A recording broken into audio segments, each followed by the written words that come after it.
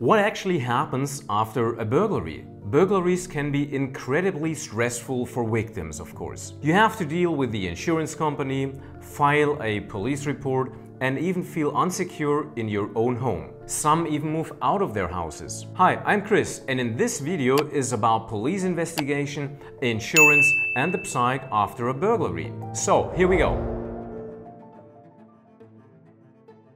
Let's talk about police investigations. If you notice a burglary, the first thing you should do is call the police. They will then come by, look at the crime scene and search for traces. They will also investigate how the burglaries got into the house and what tools they used. In order not to complicate the investigations, you should not touch anything or clean up before the police arrive. It is best not to enter the house or apartment at all. Also because you do not know if the burglary is still in the house. Although the burglary detection rate in Germany is only about 16%, you should take the police investigation seriously and support it as much as possible. Let's talk about the insurance. So, what do you do next? You call your insurance company. If you do everything right, the insurance company will pay the damage caused by the burglar. This includes the value of the stolen items and cash, as well as the damage the burglar left in the house. Before I talk about insurance, an important note. Every insurer has different terms and conditions, of course. Therefore, with everything I'm going to say, there is no guarantee that this will work exactly the same way with your insurer. If in doubt, ask or check your documents. Then you can be absolutely sure. Now, for the topic of the insurance, I make a distinction between, uh, let's say, smaller home burglaries where maybe cash, a laptop, and maybe some jewelry is stolen, and large attacks on the other side on wealthy individuals. That's where I talk a little bit more specifically about how you should insure items with um, large property values. We'll start with um, low theft burglaries, although low can be interpreted in different ways, of course. Let's just say that these are casual burglaries in apartments or smaller family houses where no particularly valuable items were stolen. For burglary, many insurances have a few requirements. For example, cash or jewelry outside a safe is often only insured up to about maybe 3000 euros. In general, there is often an upper limit for the insurance amount for valuables. Another important note, Many insurance companies specify minimum security standards. If a burglar enters a home through a door that does not meet these minimum standards, the insurance company may not pay for the damage. Therefore, check with your insurance to find out what security measures you need. So what do you need to do after a burglary to get the insurance company pay for the value of the stolen items? First, immediately after the burglary, discuss the next steps with your insurance company. In the case of higher amounts, the insurance company may send a damage expert to you. Second, you definitely need a list of the stolen items. It is best to make this list immediately and give it to police and the insurance company. Third, the insurance company can demand that you provide proof that you actually own the stolen valuables. Here's a tip.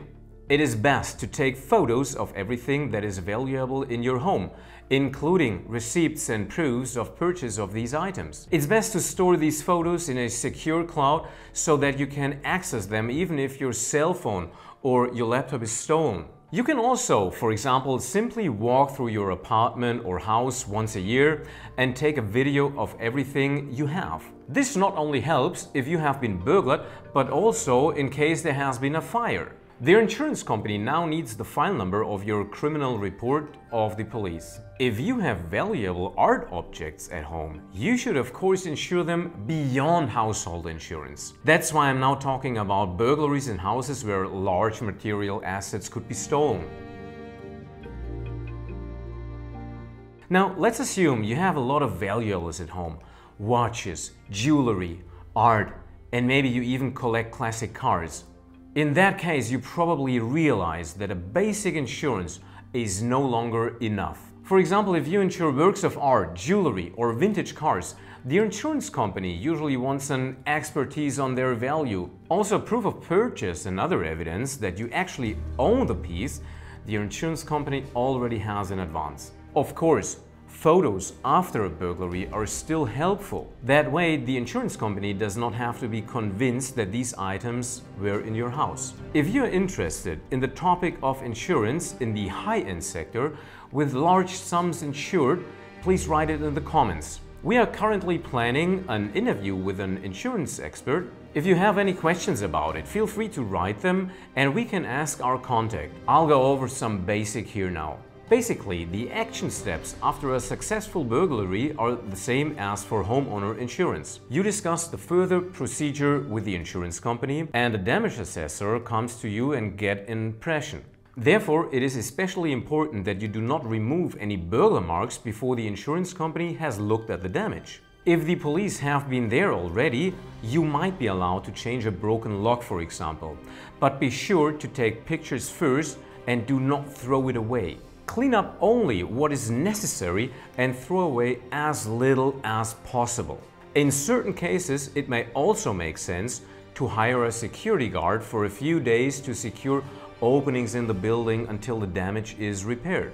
Another important requirement for the insurance company to pay the damage is that you meet minimum security standards. For large sums insured, these are often burglar-resistant locks, window frames, and window glass or similar. Ask your insurer to look at your home and tell you if you meet the minimum standard. Now let's move on to the next topic. What actually goes on in the victim's minds after a burglary? Everyone is affected differently after a burglary. A study by the Crime Research Institute of Germany surveyed victims and evaluated how different people cope psychologically with a burglary.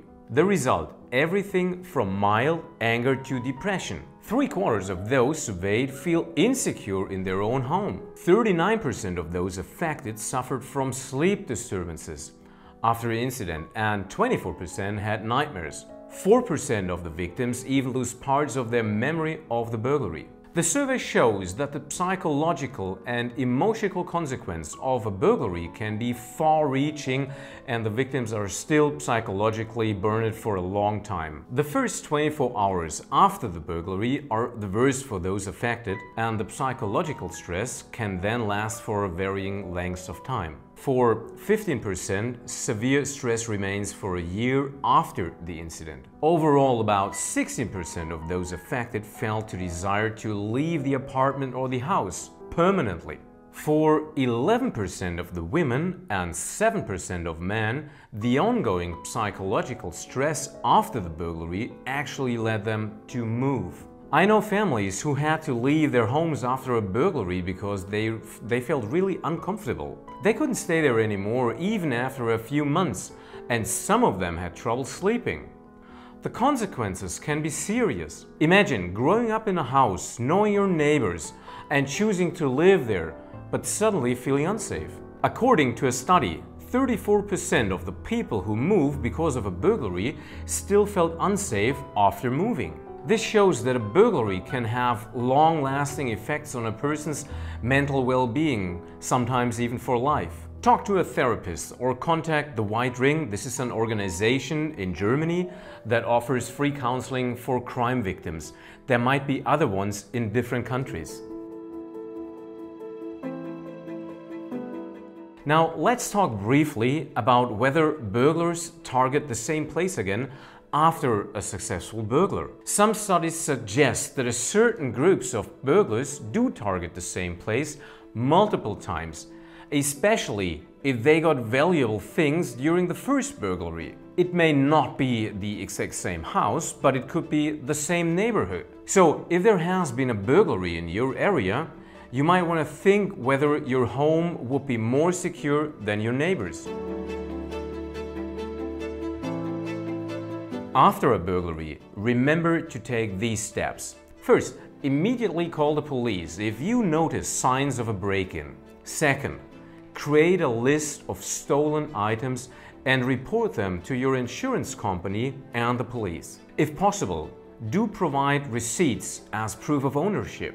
And third, file a criminal complaint and provide the file number to your insurance company. Fourth, seek professional help if you experience psychological distress after the burglary.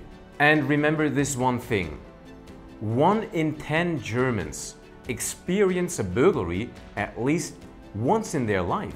It's essential to protect your family and belongings proactively instead of waiting for something to happen. If you want to learn more about burglary and burglary protection, click on this video. And if you have any questions, feel free to post them in the comments. Thank you so much for watching and see you next time.